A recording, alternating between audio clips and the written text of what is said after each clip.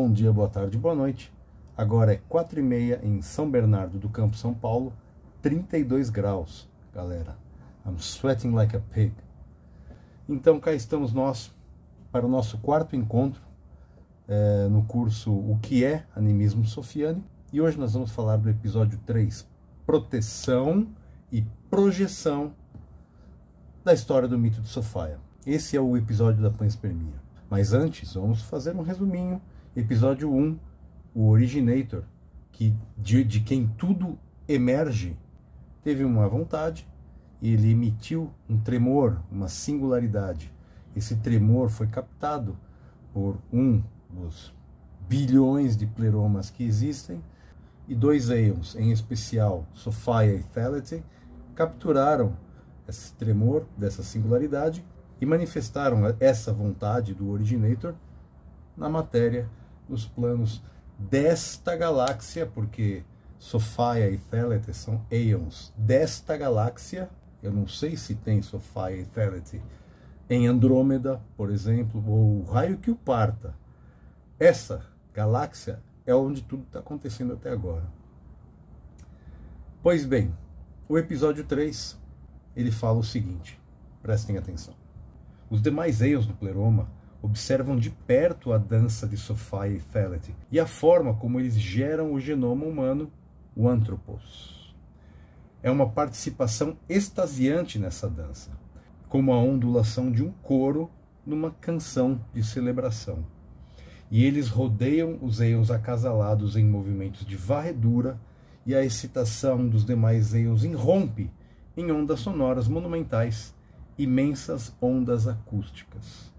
Toda a companhia dos Aeons canta para celebrar este feito. Eles se unem em torno do modelo genômico do Anthropos e o embalam numa malha de proteção.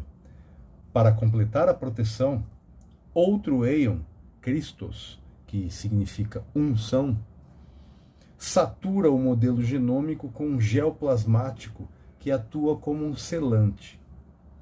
O genoma requer as propriedades especiais da gemação para que, quando emergir em organismo, tenha a resiliência celular para manter os seus limites vitais.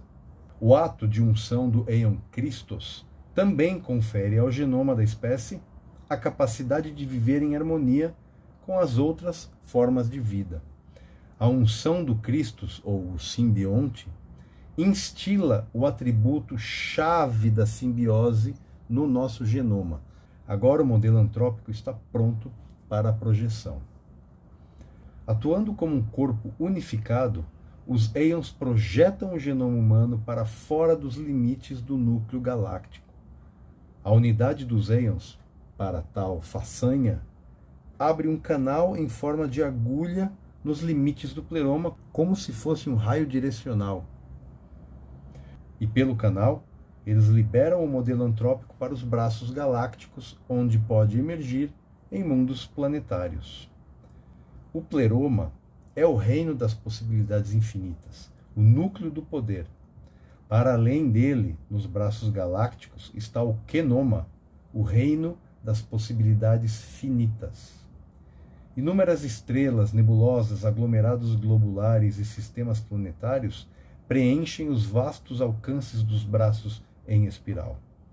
Entre os sistemas planetários, alguns têm o potencial de fornecer um habitat favorável para o Anthropos. O modelo projetado tem a aparência de um tufo gelatinoso como ovas de rã. E ele corre através do espaço galáctico em direção ao terceiro braço da nossa Via Láctea. Depois, desce para uma nuvem molecular, a nebulosa de Orion M42. Lá o modelo se assenta e expande para uma vasta suspensão de névoa nucleica, como um padrão de orvalho numa teia de aranha. É uma coisa maravilhosa. Então, a panspermia assim acontece no mito de Sofia. A singularidade é emitida, captada e manifestada. Essa manifestação de Sofia e Thality, de dentro do núcleo da galáxia, é o genoma humano. Esse genoma humano vem protegido e ele é lançado no espaço exatamente como fala a teoria da panspermia. Vamos dar uma expandida nesse episódio 3 do mito de Sofia. Primeiro, nós entendemos que o número de Aeons é incerto. Isso é sabido pela descrição do Irineus e pelos textos que a gente tem aí no Nag Hammadi. Mas a quantidade de Aeons, particularmente para mim, não faz a menor diferença. Eu tenho como parâmetro a rasgação de seda que o pessoal aí dos textos jogou para cima do originator. Sendo ele tudo o que foi dito sobre ele, então ele só pode ser uma criatura de atributos infinitos. Portanto, são infinitos Aeons na minha cabeça. O resto não faz para mim a menor diferença. São infinitos e só dois interessam para gente: Sophia e Thelete. Então, partimos daqui. Os Aeons são infinitos, pois infinitos são os atributos do originator. Sobre o processo de Syzygy, temos aqui o texto A Valentinian Exposition, que fala o seguinte: Porque esta é a vontade do Pai, que ninguém no pleroma fique sem um cônjuge. O John, no seu maravilhoso Not in His Image, ele faz uma paráfrase de, e ele coloca da seguinte forma: Porque é a vontade do originator não permitir que nada aconteça no pleroma para além da syzygy. E o que, que é syzygy, meus queridos? Veja só. Ela é uma palavra que do latim tardio, syzygia, que ela vem do grego, suzugia, de suzugus, gemado, atrelado, acoplado. Pareamento dos eions. O termo syzygy aparece 38 vezes no texto em inglês do Irineus, uh, mas com a tradução de conjunction atrelamento, conjunção. Em português, o termo é traduzido como cisígia e aparece 33 vezes em Irineus, sempre para falar do modo como os eions procriam.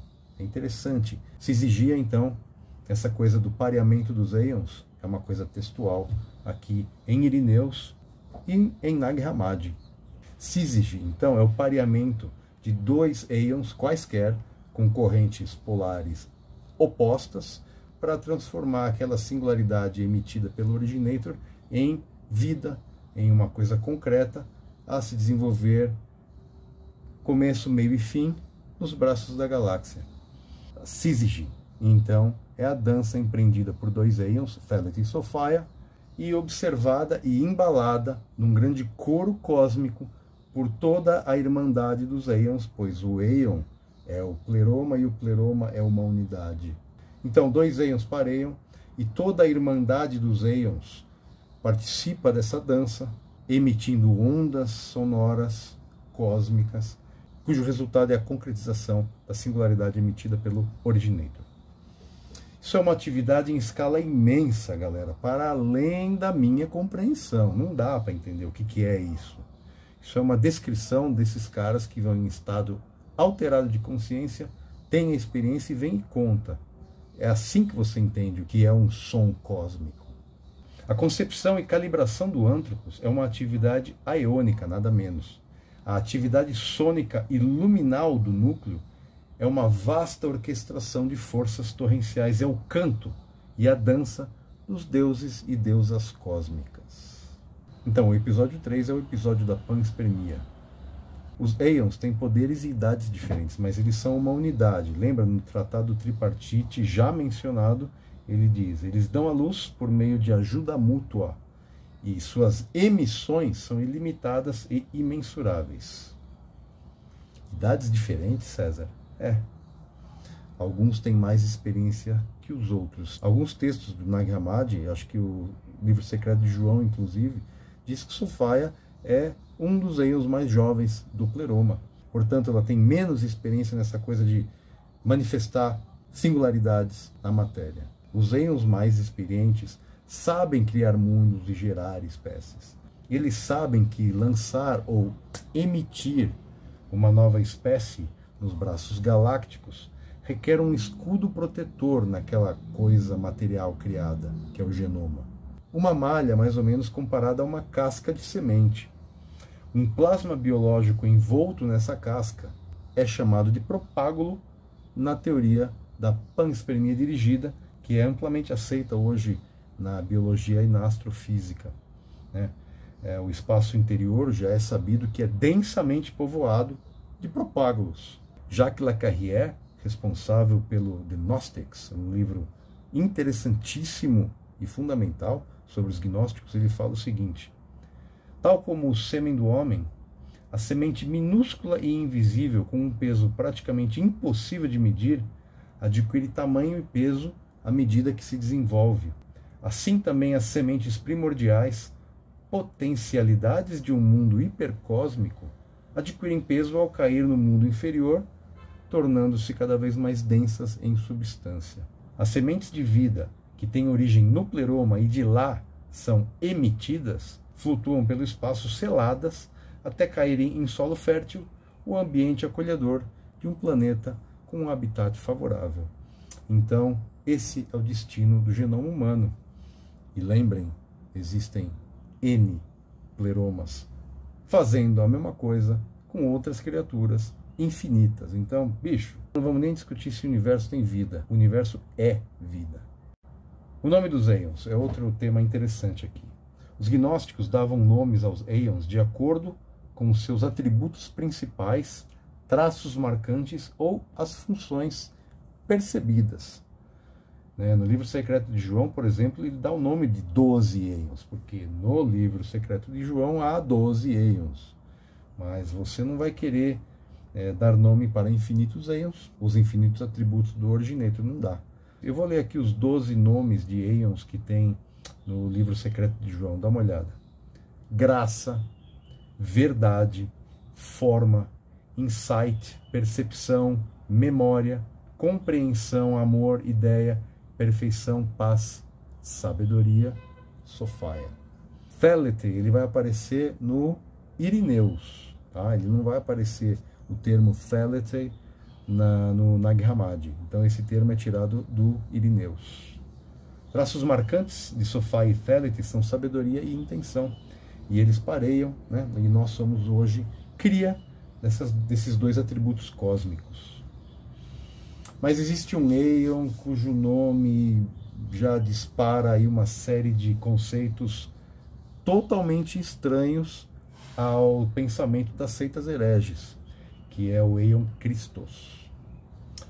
O Eion Christus tem esse nome devido à sua função específica: crisma, saturação, unção. Então, o que é unção, queridos? Unção vem do verbo ungir, que significa derramar óleo sobre ou untar com algum unguento. Originalmente, referia-se a graxa ou óleo untado para fins medicinais. O seu uso na Bíblia é em referência a Cristo, né, como o ungido do Senhor, espiritualizou a palavra. Quando você lê sobre a intervenção de Cristo, aqui no plano de Sofaia, nos perrengues de Sofaia, Sofaia é descrita como estando doente, né? doente daqui, porque ela não conseguia organizar as suas emoções. Ela estava perdidaça nesse mundo escuro, onde a luz do pleroma está totalmente ausente. Ela é a luz e ela não sabe como lidar com sua prole depois que ela se transforma na terra. Isso nós vamos falar mais para frente. Então, Cristo vem e vem ungi-la, vem passar um óleozinho nela para ver se ela melhora do problema bipolar que ela se arrumou se tacando do pleroma. O mito é muito bonito. A história da deusa caída é linda. O ato de unção é preciso como destilação num processo químico ou como fotossíntese na natureza. A unção de Cristo é um milagre da supernatureza, mas é completamente material, como qualquer processo na natureza. A unção ou gemação é um processo que pertence a ambas, a vida natural e a supervida divina. E veja só, primeiro, a unção garante que um organismo formado por células seja capaz de manter os seus limites celulares e se agarrar à pele. Quando a criatura emerge, ela precisa se manter como a unidade do organismo. A unção garante isso aqui no mito de Sofia. Num segundo efeito, essa unção do Eion Christus instila o organismo com o instinto da simbiose, para que este organismo possa estabelecer ligações com outros organismos. A demarcação de limites e a agregação, ou seja, a simbiose, resumem os atributos do Eion Christos. O Christus é o simbionte, que também é chamado de eclésia por causa dessa, dessa, desse efeito agregador. Eclésia é igreja, Christus é Jesus e Sofia é nada. Então a leitura de um cristão aqui, obviamente, entenderia a eclésia como a igreja e o Christus como o judeu da Palestina, Messias, o rei dos judeus. Então a confusão é grande quando o Eion Christus aparece na jogada. O mito de Sofia menciona uma coisa que parece como um raio direcional saindo do pleroma, abrindo os limites do pleroma para efetuar a panspermia. É mais ou menos assim. Os visionários que alcançavam essas visões em estado alterado de consciência, eles entenderam que o pleroma, entre o pleroma e o quenoma, existe um limite. Esse limite ele é firme, mas ele é poroso e é possível que se abra uma passagem nesse limite e que se emita né, o material genômico para os braços da galáxia. Então esse raio direcional pode ser imaginado como se fosse uma pipeta de gelo, onde você faz a inseminação artificial, né? Como nós fazemos aqui a inseminação artificial, e quando acabou de expelir o material genético para fora do pleroma, para os braços galácticos, essa pipeta de gelo derrete e deixa só um tracinho da sua passagem, da sua existência por lá. Então os íons fazem essa abertura no limite do pleroma chamado Stauros ou Oros, Oros de horizonte, e através dessa passagem aberta como uma pipeta de gelo é expelido o genoma para os braços da galáxia. É lindo isso aqui. É muito bonito o, o mito. É como aqueles vídeos que os senhores veem pela televisão, nos documentários de inseminação artificial. A pipeta entra, passa pelas tauros da célula, injeta o material genético e sai. Nada sai para fora, nada entra de fora para dentro. É, é, mais ou menos assim que pode ser imaginado a, o ato de panspermia. Pessoal, criaturas animais com cabeça para concentrar inteligência e membros para mobilidade, eles precisam de um lar, eles precisam de um planeta. Por exemplo, como a Terra. As condições atmosféricas certas devem estar lá. E é claro, toda vida orgânica requer água. Existe água no quenoma. E existem e devem existir infinitos planetas com água, igual nós aqui, mas o nosso é a emanação da deusa que caiu. Nós somos o Antropos, a cria dos Aeons deste pleroma, desta Via Láctea. Nas outras constelações em espiral, deve acontecer a mesma coisa. Mas você jamais vai conseguir viajar, meu querido futurista, de uma galáxia para outra. Não dá. Então, assim, é aqui e agora.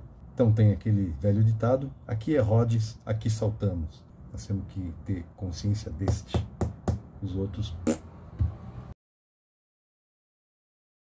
Então tem essa coisa do, da emissão, a panspermia, e esse material da panspermia ele parece então uma ova de rã, aquele monte de bolinha, toda ela encapsulada como uma semente, e ela está aí espalhada pelo universo, mas a panspermia do Anthropos foi especificamente numa direção, e o mito diz que o material genético humano acabou se aninhando na nebulosa de Orion. Por isso que na história da humanidade Orion aparece em tudo quanto é cultura. Alguns visionários tiveram essa percepção de que nós viemos literalmente de Orion, porque nosso propágulo está lá, em suspensão naquela nuvem aquosa como o padrão de orvalho numa teia de aranha. Que tal? Pessoal, M42, a nebulosa de Orion, ela está lá. É uma mancha que você vê do, é, bem próxima aí da constelação de Orion, né, que a gente consegue identificar. E nessa nebulosa nós temos o trapézio de Orion, que são quatro estrelas em forma de trapézio. Então, espalhado mais ou menos aí na região das estrelas do trapézio, está a substância viva, o genoma antrópico, como orvalho numa teia de aranha. As quatro estrelas que compõem o trapézio fornecem uma estrutura semelhante a um tear, onde a substância genômica se acumula e lá habita. As correntes plasmáticas que fluem continuamente do trapézio para o exterior transportam os propágulos do Antropos para regiões galácticas onde poderão eventualmente chegar a um sistema planetário que lhes seja adequado. Passa uma corrente lá, acaba levando os propágulos, caiu aqui, here we are. É uma história cheia de graça, se vocês me entendem, né? A graça e a beleza das vontades do originator, os tremores da sua mente perfeita. É a graça das coisas geradas pelos Aeons Generators na mais pura expressão da liberdade. Então vamos fazer um resuminho rápido. No episódio 3, torna-se evidente que alguns detalhes da atividade plerômica, relatados pelos videntes gnósticos, não devem ser descartados como fantasias rebuscadas ou ilusões místicas sem base probatória. Pelo contrário, a descrição meticulosa dessas atividades provenientes dos gnósticos revela como eles foram capazes de descrever o equivalente de processos biológicos que ocorrem no nível galáctico. Para eles, a natureza da Terra e a supernatureza divina, né, essa natureza para além né, do que nós conseguimos compreender e enxergar, elas formam um contínuo. E nesse contínuo, tudo está vivo e animado. Um dos princípios do animismo sofiânico é que a vida só pode nascer da vida, ela não pode nascer da não vida. Né? A matéria inorgânica não gera vida. Quando os arcons tentam fazer o homem, eles falham. Mas há um lugar para o inorgânico na cosmologia gnóstica também, como nós vamos ver aí nos próximos episódios. A beleza da história da deusa caída é que ela aponta a atenção humana diretamente para as origens humanas. Para aqueles que aprenderam a narrativa, é um choque de espanto total saber que é possível, de fato, olhar para o céu noturno e ver de onde vem a nossa espécie. Segundo os antigos gnósticos, nossa origem está na M42, a nebulosa de Órion, o caçador. A espécie humana, tal como aparece hoje aqui na Terra, emergiu de propágulos que vêm da M42 e que foram semeados neste planeta, o nosso lar. A antiga escola dos mistérios órficos registrou este fato num artefato arqueológico encontrado em Petélia, no sul da Itália. O amuleto de Petélia, mais ou menos 400 a.C., é um pequeno quadrado de folha de ouro que era dado como um amuleto àqueles que eram submetidos a uma certa iniciação tendo se tornado íntimos da gnosis da origem humana. E a inscrição nesse pequeno pedacinho de ouro diz: Eu sou uma criança da terra e do céu estrelado, mas a minha origem é no céu apenas. Vocês sabem disso. Sem mais, nos vemos no próximo encontro para falar do episódio 4 do Mito de Sofia. Hold on to your pajamas, my friend, como se diz em inglês, porque o sonhar de Sofia causou sua queda. E é isso que nós vamos falar no episódio 4 do Mito de Sofia, a história da deusa caída, o sonhar unilateral. Até lá.